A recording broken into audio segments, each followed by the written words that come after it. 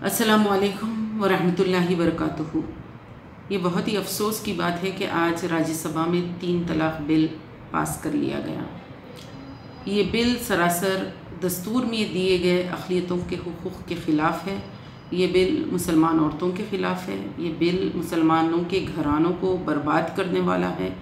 مسلم شوہروں کو جیل میں بھیجنے کے لیے یہ بل بنایا گیا ہے اور اس بل کو لوک سبھا میں تین بار پاس کیا گیا تھا، لیکن راجیہ سبھا میں یہ دو بار ناکام ہوا، لیکن آج یہ پھر پاس ہو گیا ہے۔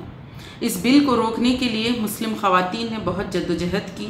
مسلم پرسنل لاء میں کسی قسم کی مداخلت کے خلاف دو کروڑ پچیسی لاکھ دستخطیں مسلم خواتین نے لاء کمیشن، ویمن کمیشن اور ہیومن رائٹس کمیشن کو بھیجی۔ یہ بتانے کے لیے کہ ہم اپنے مسلم پرسنل لاء میں خوش ہیں، محفوظ ہیں اور ہم اس میں کسی بھی طرح کی تبدیلی نہیں چاہتے۔ جب یہ بل کا مسودہ بحث کے لیے آیا تو پورے ملک ہندوستان میں دو کروڑ سے زیادہ مسلم خواتین سڑکوں پر نکلی، بینر لیے ہوئے، ریلیز، پروٹیسٹ ڈیمونسٹریشنز اور ایسے کئی عظیم الشان مظاہرے ہوئے۔ دلی، کلکتہ، بنگلور، ممبئی، لکھنؤ جے پور اور کئی ڈسٹرکس میں مظاہرے ہوئے۔ کلیکٹرز کو میمورینڈم دیے گئے۔ پوری کوشش کی گئی کہ جمہوری طریقے سے اس بل کو روکا جائے۔ اس میں خامیاں جو ہیں وہ ارباب اقتدار کو اس سے واقف کروایا جائے اور اس بل کو کسی بھی طریقے سے پاس نہ ہونے دیا جائے۔ لیکن یہ بہت ہی افسوس اور تکلیف کا مقام ہے کہ آج حکومت نے اس بل کو پاس کر دیا۔ ہم یہ بتانا چاہتے ہیں کہ یہ بل کا مسلم خواتین کے امپاورمنٹ سے کچھ لینا دینا نہیں ہے۔ اس بل سے مسلمانوں کے گھر صرف ٹوٹنے والے ہیں، برباد ہونے والے ہیں۔ اور یہ راست شریعت میں مداخلت ہے، مسلم پرسنل لاء میں مداخلت ہے۔ اور اس ملک میں جو دستور میں ہم کو حق دیا گیا ہے، وہ حق کے خلاف ہے یہ بل اور ہم یہ بھی بتانا چاہتے ہیں کہ مسلم خواتین اس طرح کی کسی قسم کی مداخلت کو ہرگز ہرگز برداشت نہیں کریں گی۔ مسلم خواتین اپنی شریعت کو اپنے دل اور جان سے زیادہ عزیز رکھتی ہیں۔ مسلم خواتین مسلم پرسنل لاء میں دیے گئے طلاق کے جو قوانین ہیں، اسی کو مانتی ہیں۔ اور مسلم خواتین یہ اچھی طریقے سے سمجھتی ہیں کہ ہمارے دوست کون ہیں اور ہمارے دشمن کون ہیں۔ مسلم خواتین یہ سمجھتی ہیں کہ کس طریقے سے یہ تین طلاق بل جو راجیہ سبھا میں پاس ہوا ہے، اس کا مسلم خواتین کے امپاورمنٹ سے کچھ لینا دینا نہیں۔ یہ بل سراسر مسلمان عورتوں کو مصیبت میں ڈالنے کے لیے، ان کے گھروں کو برباد کرنے کے لیے، ان کے بچوں کے مستقبل کو تاریخ کرنے کے لیے، ان کے شوہروں کو جیلوں میں بھیجنے کے لیے تیار کیا گیا۔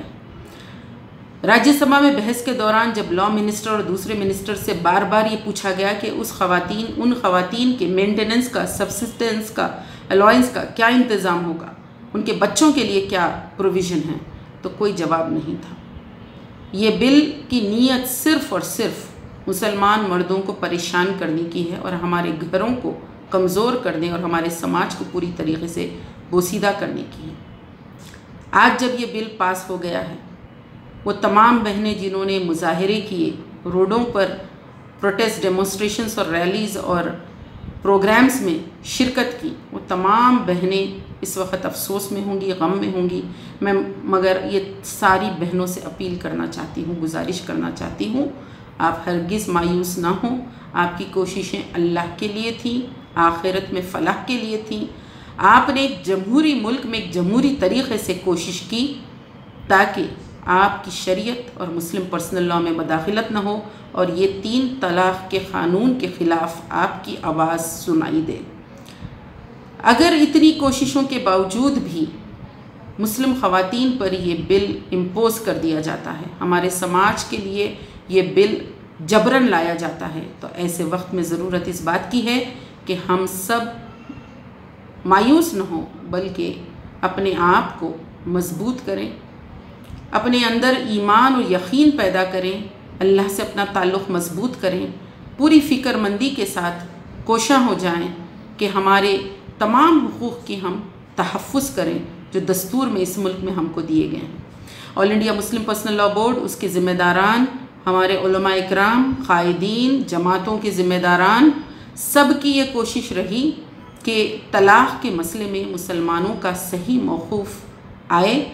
اس کے لیے سپریم کورٹ میں، میڈیا میں اور ارکان پارلیمنٹ کے سامنے برابر نمائندگی ہوتی رہی۔ اس کے باوجود اگر یہ بل پاس ہوا ہے تو ہم کو نا امید اور مایوس نہیں ہونا ہے اور بیکار کی بحثوں میں بھی نہیں جانا ہے، بلکہ ہمارے اندر فکر مندی ہو، اپنے مستقبل کی تعمیر کے لیے ہم کوشاں ہوں، اپنی جماعتوں سے ہم مضبوط ہوں اور ہم سب پورے اتحاد اور اتفاق کے ساتھ تحفظ شریعت اور اصلاح معاشرے کی کوششوں کو اپنے اپنے گھروں میں، علاقوں میں، محلوں میں ڈسٹرکس میں تیز تر کریں۔ اللہ تعالیٰ سے دعا ہے، اللہ تعالیٰ ہم سب کی کوششوں کو قبول فرمائیں اللہ تعالیٰ ہم کو قبول کرے کہ ہم اپنے نسلوں کے لیے ایک روشن، مستقبل تعمیر کر سکیں۔ اللہ تعالیٰ آج کے دن کا غم اور دکھ ہم پر ہلکا کر دے۔ اور اللہ تعالیٰ ہم کو آگے کے لیے صحیح حکمت عملی اور صحیح لاہ عمل تیار کرنے کی توفیق عطا فرمائیں السلام علیکم ورحمۃ اللہ وبرکاتہ۔